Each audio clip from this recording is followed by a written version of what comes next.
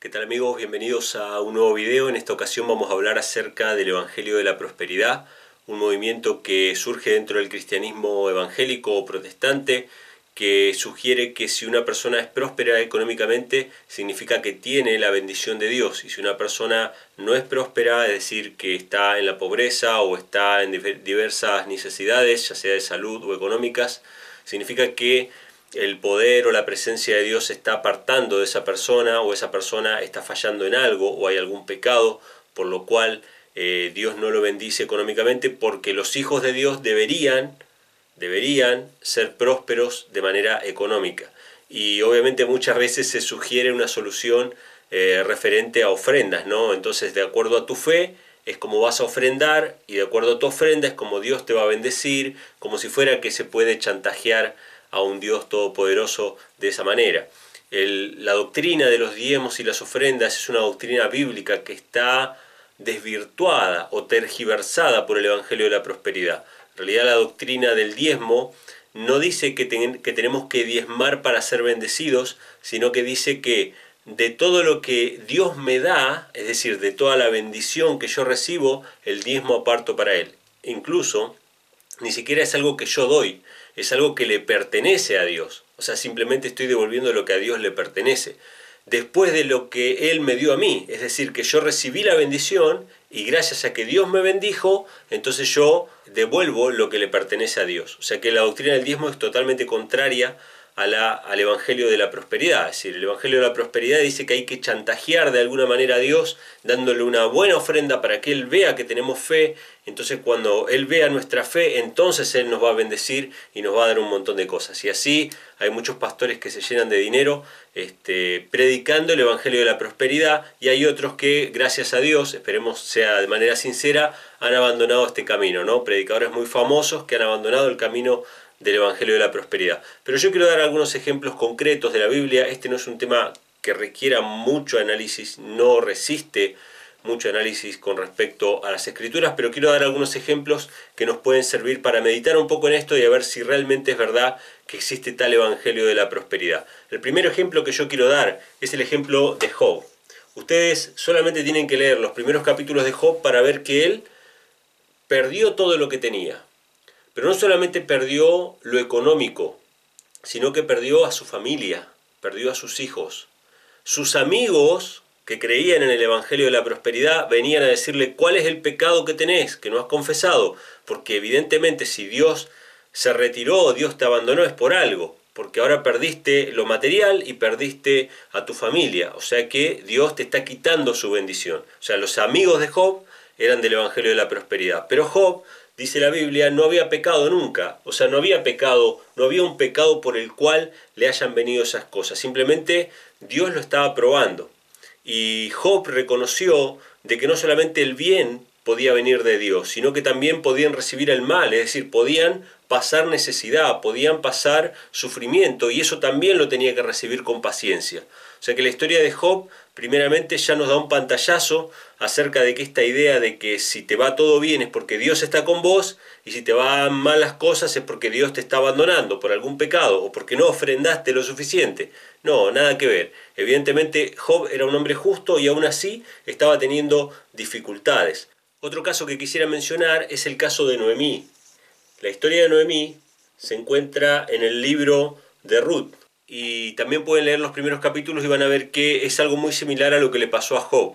Noemí perdió a su esposo, perdió a sus dos hijos y quedó sola, quedó ella viuda con sus dos nueras, sin ningún sustento, quedó en la pobreza, eh, con solamente una de sus nueras, la otra volvió con sus padres, ¿sí? volvió porque tenía una mejor situación económica estando con sus padres que estando con Noemí. Noemí no las podía sustentar.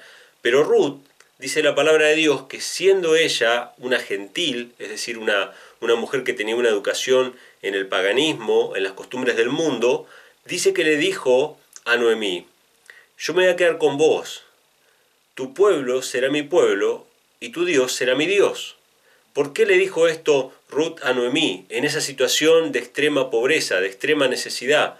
donde parecía que Dios las había abandonado, porque ella había visto el amor de Dios en su suegra, de tal manera que ese testimonio tocó su corazón y ella se convirtió al verdadero Dios. ¿Podemos decir que Dios abandonó a Noemí en su momento de pobreza, en su momento de necesidad?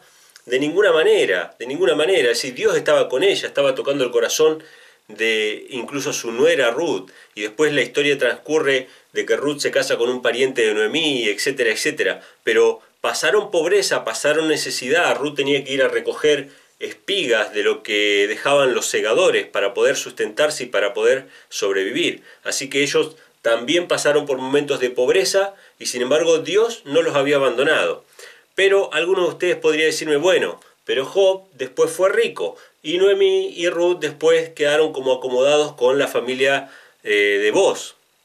Sin embargo, hay otros ejemplos en la Biblia donde los finales no son tan felices como estos dos que mencionamos aquí. Quisiera mencionar el ejemplo de Pablo. Pablo nos dice en Filipenses capítulo 4 versículo 11 que él aprendió a contentarse tanto en la necesidad como en la abundancia. Es decir, que él había pasado necesidad, había pasado privaciones. Y si leemos la historia de Pablo que se encuentra en Hechos de los Apóstoles, en los capítulos finales, vamos a ver que Pablo termina sus últimos días encarcelado. Por medio de la historia secular sabemos que Pablo fue decapitado posteriormente, pero la Biblia nos registra que sus últimos días fueron en prisión, fueron en la cárcel. O sea que no tuvo una prosperidad económica, no tuvo un mejor pasar. Él tuvo momentos de pobreza, tuvo momentos de abundancia y él aprendió a contentarse en ambos, en ambas situaciones. No tuvo ningún problema con pasar por pobreza y cuando pasaba en pobreza no era que Dios lo había abandonado, sino que simplemente era probada su paciencia, era probada su fe, él tenía que aprender ciertas lecciones seguramente como pasa con nosotros también, que a veces tenemos, a veces no tenemos y tenemos que estar siempre gozosos, siempre felices. Y en el caso de Pablo tuvo un final que no fue feliz, es decir, no tuvo riquezas después de haber pasado esas tribulaciones, sino que murió, murió en la cárcel, fue un mártir. Y también quisiera obviamente mencionar el ejemplo más importante de todos, el ejemplo de Jesús. La Biblia nos dice en Mateo capítulo 8, versículo 20, que cuando quisieron seguir a Jesús, ciertas personas quisieron seguir a Cristo y Jesús les dijo, las aves del cielo tienen nido y las zorras tienen guarida, mas el Hijo del Hombre no tiene dónde recostar su cabeza. ¿Qué significa esta expresión? Que Jesús no tenía nada material que ofrecerle a estas personas que querían seguirle, que lo que tenía para ofrecerles era algo espiritual, era el reino de los cielos. O sea que Jesús era una persona humilde, no tenía propiedades materiales, no tenía riquezas materiales. Su ropa era una ropa sencilla que contrastaba con el lujo y la pompa de los escribas y fariseos que sí creían en el Evangelio de la Prosperidad, sí creían que cuando alguien nacía ciego era por algún pecado, sí creían que si alguna persona era pobre era porque Dios los había abandonado y creían que la plebe ignorante que no sabía leer era un pueblo maldito.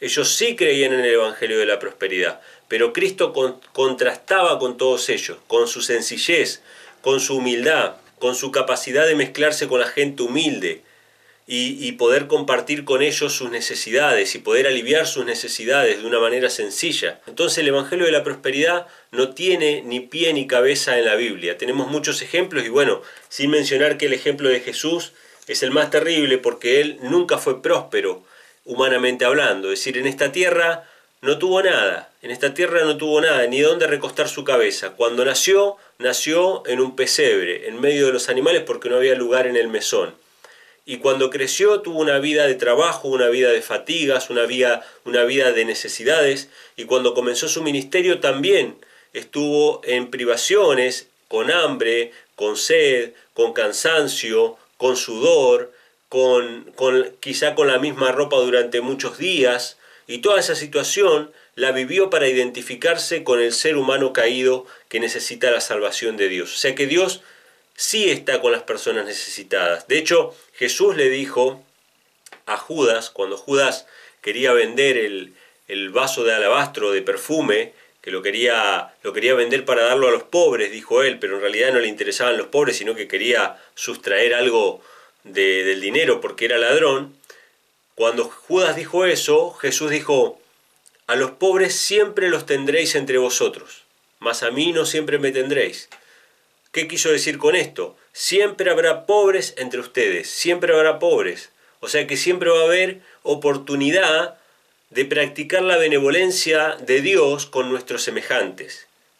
Y no, no, van a estar para que los juzguemos si es que Dios los abandonó o no, sino que van a estar ahí para que nosotros practiquemos la bondad y la benevolencia con aquellas personas que necesitan. Así que de ninguna manera el Evangelio de la Prosperidad es una doctrina bíblica, es un engaño de los hombres que por lo general tratan de enriquecerse por medio de esas ofrendas que se piden ¿no? para, para mostrar a Dios la fe y cosas por el estilo. Lo que sí la Biblia nos dice en Salmos 37, versículo 25, que David lo dice, dice, yo fui joven y he envejecido y no he visto justo desamparado ni su descendencia que mendigue pan. ¿Qué significa esto? Que Dios siempre sustenta a sus hijos. Pueden pasar por escasez, pueden pasar por escasez, pueden pasar por necesidad, por privaciones, sí, pero Dios siempre sustenta a su pueblo. Sustentó a Israel en el desierto con maná, ellos querían el lujo, ellos querían las ollas de Egipto, pero Dios les dio el sustento necesario. El Evangelio de la Prosperidad quiere todo, ¿no? Quiere todo el paquete. No, no, yo si no tengo esta ropa, si no tengo esto, es porque Dios no me bendijo. Mentira, Dios puede darte el maná y Dios te está bendiciendo, porque las bendiciones de Él son mayormente espirituales más que materiales. Entonces el pueblo de Israel, Dios, Dios lo sostuvo con maná. A Elías lo sostuvo con pan y carne. A Juan el Bautista lo sostuvo con langostas y miel en el desierto. ¿sí? Y a Cristo también lo sostuvo y le propició el alimento y le dio todas las cosas necesarias para que él subsistiera. O sea que nunca un justo, nunca un hijo de Dios va a estar mendigando, sino que Dios lo va a sustentar. De alguna u otra manera, Dios lo sustenta. A veces de las maneras más inesperadas, pero Dios nos da el sustento necesario. Puede no darnos lujos, evidentemente que puede no darnos lujos porque tenemos los ejemplos bíblicos puede hacernos pasar por privaciones, sí puede hacernos pasar por privaciones, pero Él siempre va a sostener a su pueblo justo con lo necesario para que subsista y para que, para que pueda seguir adelante ejerciendo la fe en el Dios del cielo. Eso está garantizado en la palabra de Dios.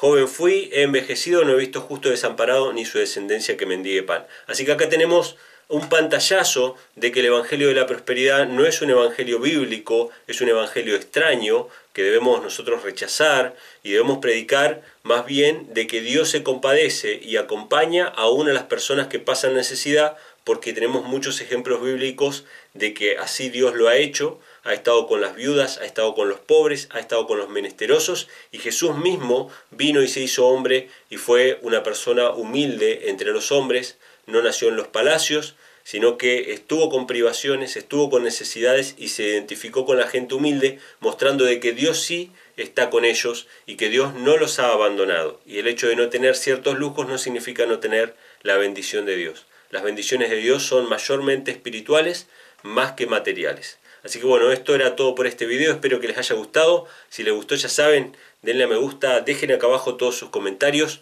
suscríbanse al canal y compartan este video con sus amigos. Nos estamos encontrando en un próximo video. Que Dios les bendiga.